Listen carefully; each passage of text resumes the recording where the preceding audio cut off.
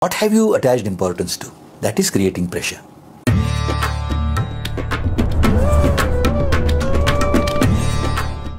Pressures or stresses mean you have attached importance with something or the other.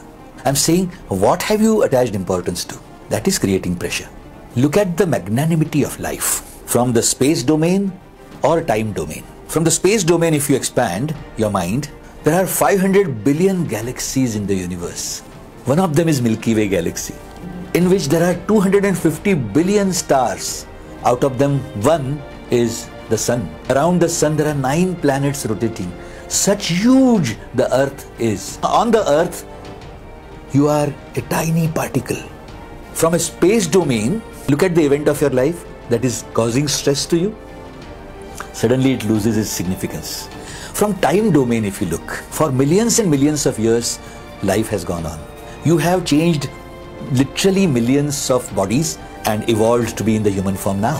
One very, very simple way of handling stress is Soham and so what. Soham is the practice of Sudarshan Kriya and meditation. It will really prepare you. And so what, where you actually get ready to drop the significance. If something really, really big happened, so what? Something terrible happened, so what? Life goes.